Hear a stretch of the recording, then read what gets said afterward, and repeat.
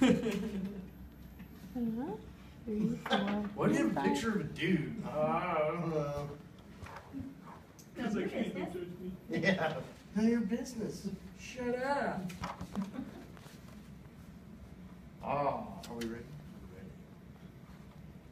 Whether it's Matt Billingslea from Taylor Swift, Taylor Swift, Dylan Wissing of Kanye West, Carter Beauford from the Dave Matthews Band, or Neil Peart of Rush, my personal favorite, all modern drummers play on virtually the identical equipment when it comes to acoustic drums.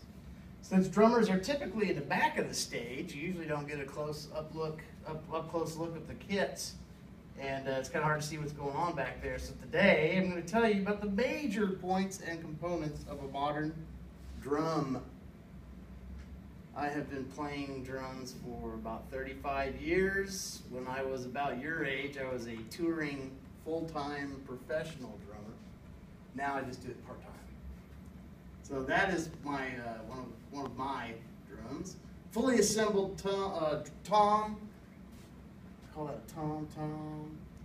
Okay, the first thing you come to is the top head, which is referred to as the batter head. It's called a batter head because you hit it. This is the one that you actually hit with the stick. Uh, this is the vented head.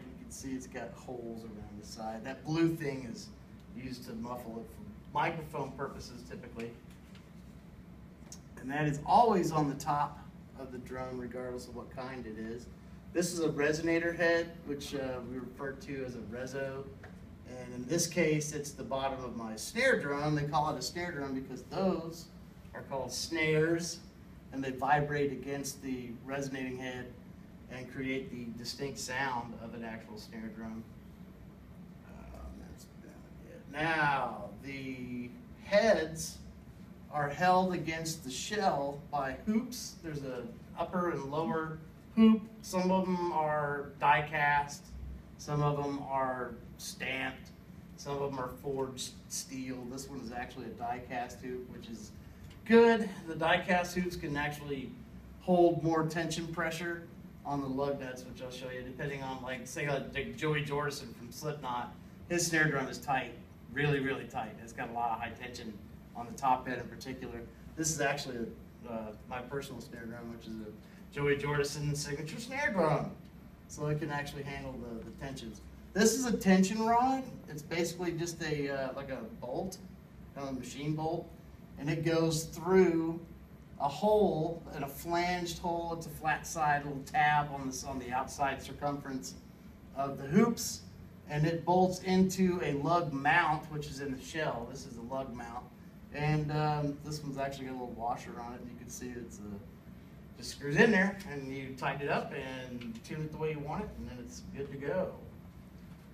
The shell is the main body of the drum. This is a steel shell. Um, there are all kinds of, of other materials. Uh, Pearl Drums actually lists um, acrylics. John Bonham from Led Zeppelin used an actual, like an acrylic resin um, drum kit. Um, this one is steel. The shells of the rest of my drums are wood. Um, the shells can be either wrapped with like a laminate, you know, it's almost like a, like a countertop, but these are actually lacquered, so it's actually painted and then lacquered over the top with a real high gloss. Um, and then the last thing to mention is a mounting system. Um, mounting systems get kind of controversial with drummers. Uh, there's a big issue, particularly with bass drums. You know, that's the big one on the bottom. A lot of times, the other drums sit on top of that bass drum on a stand that actually penetrates with a hole through that bass drum, and it puts a lot of weight on the round, you know, wood of the drum or whatever the material is. Um, even though round is, of course, the, the strongest of all the shapes as far as weight support, over years, uh, you know, typically you can have these things for years and years, and that kind of weight, you wouldn't stand on it, you know, and just sit there or sleep on it because it may, may deform. Then you have a problem because if you have like die cast tubes and you're trying to conform that to a warped shell, you know, now you're out of round, you're gonna have all kinds of issues. You gotta get rid of it basically. There's no fixing it, you know, for the most part. So the, with these mounting systems, you have penetrating and non-penetrating types.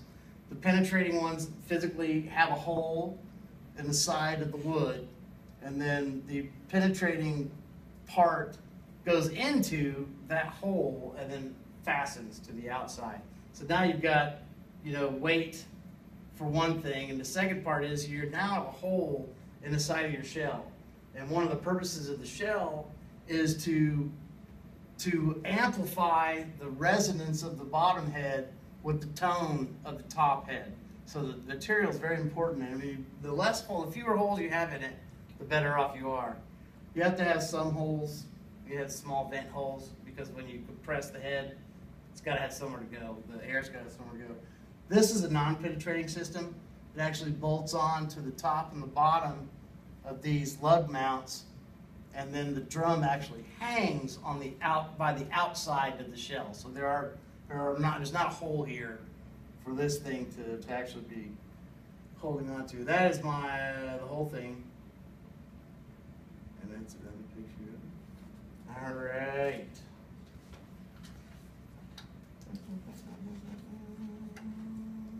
Drum kits are complex machines made up of many pieces, components, and assemblies. Most people don't look at it as a machine, but when you start maintaining one, you know, that costs seven or eight thousand dollars, you start realizing this is actually a machine. You know, that, that has to be properly maintained.